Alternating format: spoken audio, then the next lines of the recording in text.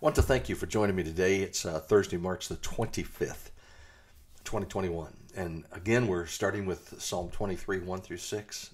The Lord is my shepherd, I shall not want. He makes me to lie down in green pastures. He leads me beside still waters. He restores my soul. He leads me in the paths of righteousness for his name's sake. Yea, though I walk through the valley of the shadow of death, I will fear no evil for you are with me. Your rod and your staff, they comfort me. You prepare a table before me in the presence of my enemies. You anoint my head with oil. My cup runs over. Surely goodness and mercy shall follow me all the days of my life, and I will dwell in the house of the Lord forever. Well, we've been talking about restoring our spiritual passion using the book uh, from Gordon MacDonald, that very title.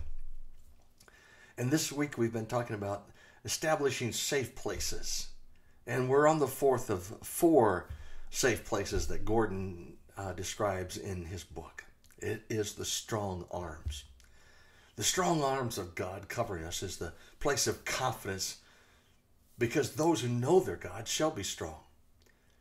Confidence itself is a state of mind and heart that permits a person to act with assurance that whatever has happened yesterday, whatever defeat, whatever failure, that God's going to turn this around for us, that our He has our best in store for us.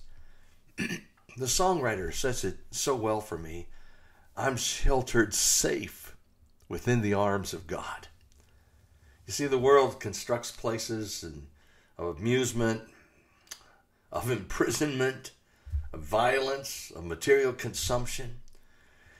Why should we not be just as diligent in establishing and developing safe places where there is the promise of peace and restoration of our spiritual energy.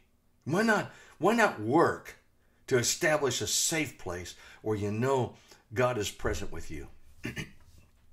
I think if you think about it very long, you'll see the genius involved in setting aside on the roadmap of life places reserved only for the restoration of spiritual passion. I want to strongly suggest that all of us set aside important dates during the year.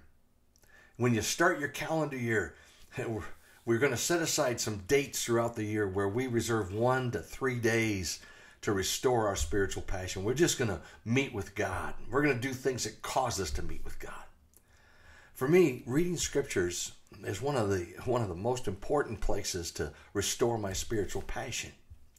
It's me understanding the strong arms of God, God's deliverance, and God's almighty power to carry me through life's storms. For instance, take Jeremiah 32 17 in the Amplified Bible. Ah, oh, Lord God, behold, you have made the heavens and the earth by your great power and by your outstretched arm. There's nothing too difficult or too wonderful for you. Luke 18 and verse 27 in the Amplified Bible. But he said, The things that are impossible with people are possible with God.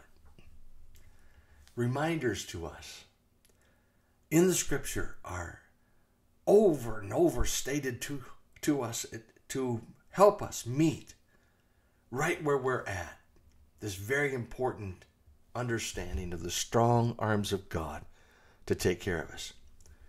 I believe God wants you to hear this verse today from Isaiah 59 1. Behold, the Lord's hand is not so short that it cannot save, nor his ear so impaired that he cannot hear. I want you to hear that because in it in the context of the word of God today, we're going to discover the hand, the arm of God is sufficient for us. And the prophet in that context of Isaiah 59 was pointing out the sins, the iniquities of the people and said we need to turn from them, from all those sins. And he's saying to us clearly, the hand of the Lord is not so short that it cannot save. The reminder is that we're never too far from God, that His strong arms will rescue us from our rebellion and deliver us from every situation in life. I want you to be able to pray that over your children and grandchildren. I want you to be able to pray that over friends and fellow employees and neighbors and classmates. I want to ask you this question How is your confidence in God's ability to make you safe in every circumstance of life? Remember, faith comes by hearing, and hearing by the Word of God. Oh, Father, someone today may very clearly need to know that they're sheltered safe within the arms of Christ. They may need to right now feel the presence of your Holy Spirit so strong, holding them up in the storm, securing them in their grief, walking through them in their disappointment. We need this safe place, oh Lord. When all around us there's so much turmoil and anxiety and fear, we come to you today. We stop our world and say, Lord, have your way. We belong to you. Thank you. Thank you for your help. Thank you for quieting our spirit. Oh, thank you for refreshing over our soul in the name of Jesus. Amen. I invite you to come to Christ today. His arms are open wide. He wants to shelter you under his arms, gather you in his hands, and protect you. You belong to him. Have a great day.